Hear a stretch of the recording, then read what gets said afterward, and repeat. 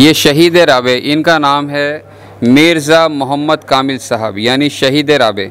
ये कैसे शहीद हुए? दूसरा सवाल इसी से ताल्लुक़ रखता है आली जनाब के इन्हें शहीद राबे यानी चौथे शहीद क्यों पुकारा जाता है? ये आप मजालिस करते हैं यानी मजलिस का मतलब है यानी लोगों को जमा करना मजमा और एक प्रेरणा देना एक पैगाम देना। तो ये मजलिस इंसानियत को क्या प्रेरणा नमस्कार, आदाब, सत आप देख रहे हैं जनता वंता और जनता वंता में आपका स्वागत है। दोस्तों, मैं आपके लिए फिर से एक नई वीडियो लेकर आया हूँ। नॉलेजेबल है, जो आपको कुछ सीख मिलेगी, आपको कुछ इबरत, यानी एक प्रेरणा देगी। शिया समुदाय के कुछ लोग और शिया धर्म गुरु हमारे साथ मौजूद हैं। पुरानी दिल्ली कश्मीरी गेट, दरगाह पंजा शरीफ में। यहाँ पर कुछ मजलिसें रखी गई हैं। क्यों रखी गई हैं? यहाँ ये दरगाह किसकी है? आली जनाब बताएँगे।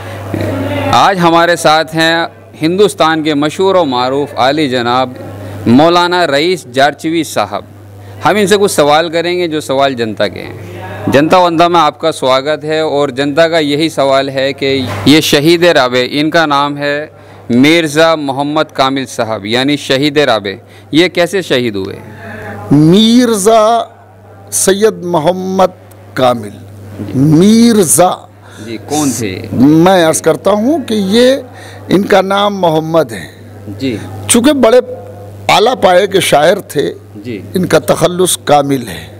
शायरी में कामिल तखल्लुस फरमाते थे और बड़े आलिम दीन थे बड़े हकीम थे। आलिम दीन होने के साथ साथ बेहतरीन हकीम भी थे। हकीम हमाम इनके उस्ताद थे जो दिल्ली के बहुत बड़े हुक्मा में जिनका तस्करा आता है वो इनके उस्ताद थे। बेहतरीन हकीम थे और बेहतरीन आलिम थे। इन्होंने बहुत सी किताबें शायद सत्तर पचहत्तर किताबें इनकी हैं जो बहुत अच्छी आला किताबें हैं और उनमें सबसे बड़ी किताब जो है जिसकी वजह से वो शहीद किए गए वो है नुज़ह इसना अशरी नुज़ह इसना अशरी बारह जिल्दों में है और बारह जिल्दों में कोई जिल्द ऐसी नहीं है जो साढ़े चार सौ सफ़े से कम की हो। बारह जिल्दें लिखी हैं आपने और ये किताब असल में जवाब है एक बहुत ही दिल आज़ार और बहुत ही तकलीफ़ दे किताब थी शीयत शीओं के ख़िलाफ़। उस किताब का नाम था तोहफ़ा इसना अशरिया तोहफ़ा इसना अशरिया का जवाब इन्होंने लिखा था जिस नुज़ है इसना अशरिया के नाम से। और ये बारह जिल्दों में है और बारह जिल्दों में इसलिए है कि तोहफ़ा इसना अशरिया जो लिखी गई थी उसके बारह बाप थे। बारह बाप। थे तो मौलाना ने शहीद राबे रहमान ने बाहर बाप का जवाब एक जिल्द में अलग से दिया है। जी। दूसरा सवाल इसी से ताल्लुक़ रखता है आली जनाब के इन्हें शहीद राबे यानी चौथे शहीद क्यों पुकारा जाता है?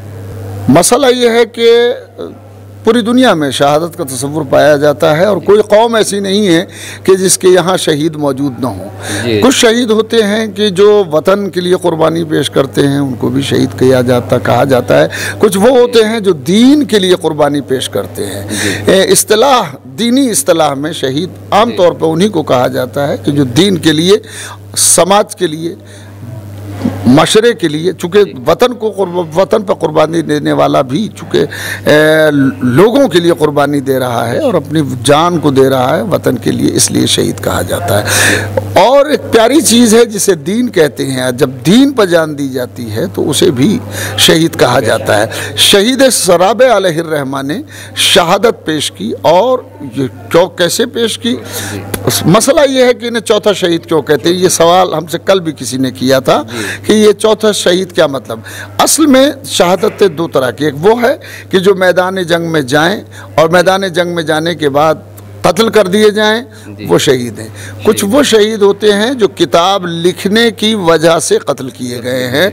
जो किताब लिखने की वजह से कत्ल किए गए हैं वो चार शहीद हैं शी दुनिया में। आजकल एक नाम और आ रहा है पाँच मगर शी दुनिया में चार नाम मशहूर हैं। एक शहीद अव्वल जिनकी शर, जिनकी लुमा है दूसरे शहीद सानी जिनकी शरेलुमा है तीसरे शहीद रा शहीद सालिस जो आगरा में जिनकी किताब एहकाकुल हक और मजालसुलमिन है और चौथे शहीद शहीद राब रहमा हैं कि जो कत्ल किए गए हैं किताब लिखने की वजह से।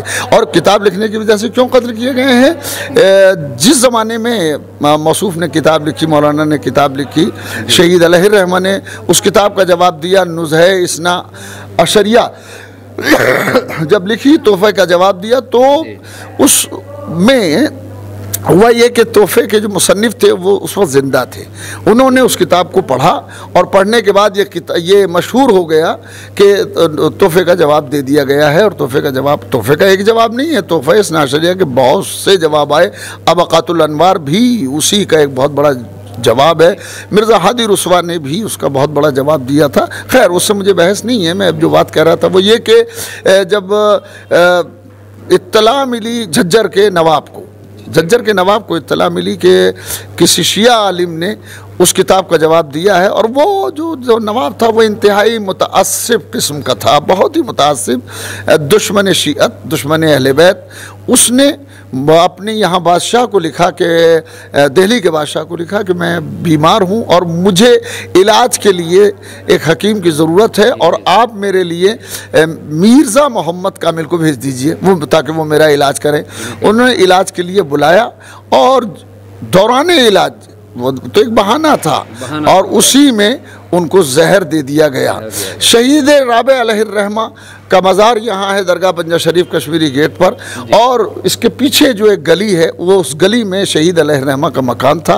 रात के सन्नाटे में झज्जर से जनाजा लाया गया था और फिर शहीद रहमा को दरगाह पंजा शरीफ कश्मीरी गेट पर दफन कर दिया दफन कर दिया। जी। ये आप मजालिस करते हैं यानी मजलिस का मतलब है यानी लोगों को जमा करना मजमा और एक प्रेरणा देना एक पैगाम देना।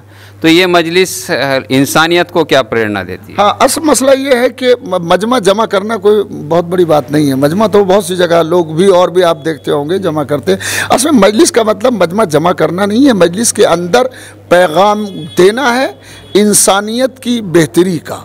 इंसानियत की फलाह बहबूद का। इंसान के लिए और समाज के लिए और माशरे के लिए क्या बेहतर हो सकता है, क्या अच्छा हो सकता है? झूठ बोलना सब कहते हैं कि बुरा है, मगर झूठ बोलते हैं। मजलिसों में आने वालों को ये पैगाम दिया जाता है कि सिर्फ़ झूठ बोलना बुरा ही नहीं है, झूठ बोलने के नतीजे ये होते हैं। झूठ बोलने का रद्द अमल ये होता है। झूठ नहीं बोलना चाहिए और अगर जो झूठ बोलेगा, उसे खुदा को जवाब देना है। ये कह देना कि झूठ बोलना बुरी बात है, ये एक समाजी बात हो जाएगी। मगर उस पर यह कहना कि झूठ बोलने वाले पर अजाब नाजिल होगा, ये अल्लाह का पैगाम है। ये यहाँ मजलिस में जितने भी लोग आते हैं, इमाम हुसैन के श्रद्धालु हैं, दूसरे समुदाय के आए, या अपने शिया भाई आए। यानी ज़ायरीन आते हैं। ज़ायरीन आने वालों के लिए क्या कहेंगे? ज़ायरीन यहाँ पर आते हैं शहीद राब रहमा के लिए, के यहाँ मज़ार पर ज़्यारत के लिए लोग आते हैं। बड़ा मजमा होता है, जुमेरात है, जुमेरात के दिन। हर जुमेरात पर यहाँ मजमा होता है, लोग आते हैं और ख़वान आती हैं, मर्द आते हैं, बच्चे आते हैं और दूर दराज से भी लोग आते हैं। और यहाँ आने का मकसद मन को दिल को शांति पहुंचाना।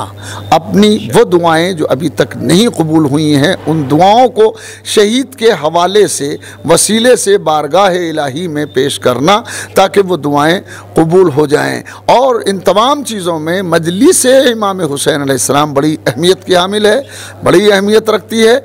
इसलिए, किसी भी प्रोग्राम का अख्ताम जो होता है, आखिर जो होता है एंड जो होता है वो मजलिस इमाम हुसैन अलैहिस्सलाम पर ही होता है और मजलिस पैगाम इमाम हुसैन है। पैग मजलिस पैगाम परवरदिगार है। मजलिस में क़ुरान बयान होता है हदीस बयान होती है इंसानियत बयान की जाती है। जनता वनता को आपने इतना कीमती वक्त दिया और व्यूवर्स को आपने इतनी अच्छी प्रेरणा इतनी अच्छी सीख यानी एक नॉलेज दिया उसके लिए आपको बहुत बहुत शुक्रिया गुजार।